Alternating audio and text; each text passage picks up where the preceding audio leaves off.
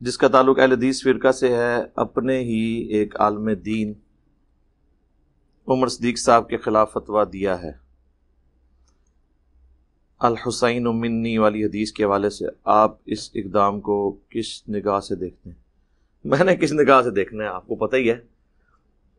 ये मेरे इल्म में आई है बात, बल्कि वो तीन चार दिन पहले मुझे किसी ने वो पीडीएफ भी फतवे का भेजा था। आलमोस्ट सात सफ़ों पे था और तीन दर्जन के करीब उलमा के साइन हुए हुए थे उसके एंड पे। लेकिन वो फतवा उन्होंने उस तरह बाई नेम नहीं लिखा था जनरल लिखा हुआ था।